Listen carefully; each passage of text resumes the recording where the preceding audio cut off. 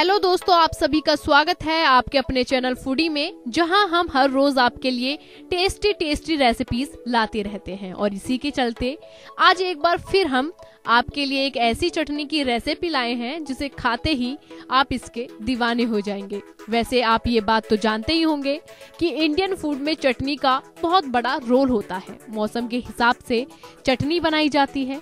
हालाँकि कुछ चटनियाँ साल भर बनाकर खाई जाती हैं। प्याज और टमाटर से बनने वाली चटनी भी उसी लिस्ट में शामिल है। प्याज और टमाटर को सलाद के लिए काफ़ी इस्तेमाल किया जाता है। इसके साथ ही लंच और डिनर में बनने वाली सब्जियों में भी इनका काफ़ी यूज़ किया जाता है। टमाटर की सब्ज़ी बनने के साथ ही इसका उपयोग ग्रेवी और लॉन्जी में भी किया जाता है। इसी तरह प्याज भी ग्रेवी के लिए काम में लाई जाती है। दोस्तों, प्याज और टमाटर से तैयार होने वाली चटनी काफ़ी टेस्टी होती है।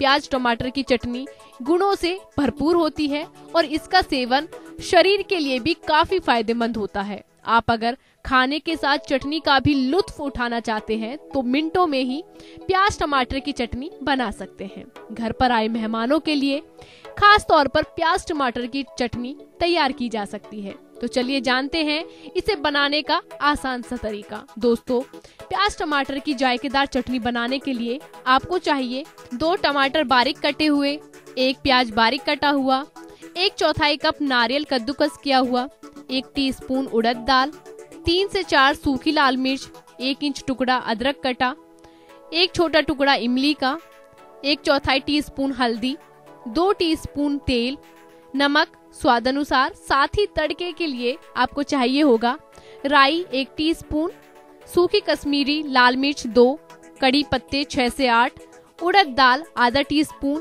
तेल दो टीस्पून। चलिए अब फटाफट इसे बनाना शुरू करते हैं। प्याज और टमाटर की टेस्टी चटनी बनाने के लिए सबसे पहले टमाटर अदरक और प्याज को बारीक काट लें। इसके बाद एक कढ़ाई में दो चम्मच तेल डालकर गर्म करें।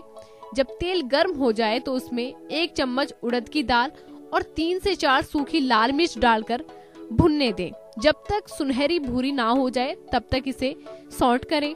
इसके बाद कढ़ाई में प्याज और अदरक डाल दें। इसे भी चलाते हुए कुछ देर तक भून लें। जब प्याज थोड़ा नरम हो जाए तो उसमें कटे हुए टमाटर डालें और तब तक भूनें जब तक कि टमाटर पूरी तरह से नरम और गूदेदार ना हो जाए। इसके बाद इसमें हल्दी, इमली का टुकड़ा और स्वाद अनुसार नमक डालकर मिलाएँ। अब मिक्सचर को एक से दो मिनट तक भुनने के बाद इसमें कद्दूकस, नारियल मिला दें और कुछ सेकंड तक सॉर्ट करने के बाद गैस बंद कर दें। अब तैयार मिक्सचर को कुछ देर तक ठंडा होने दें।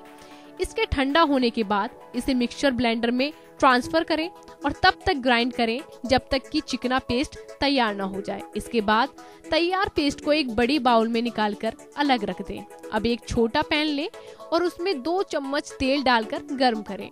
तेल गर्म होने के बाद राई, उड़द दाल, कड़ी पत्ते और सूखी मिर्च डालकर चटकने तक भूनें। इसके बाद इस तड़के को चटनी के ऊपर डालें और मिक्स करें।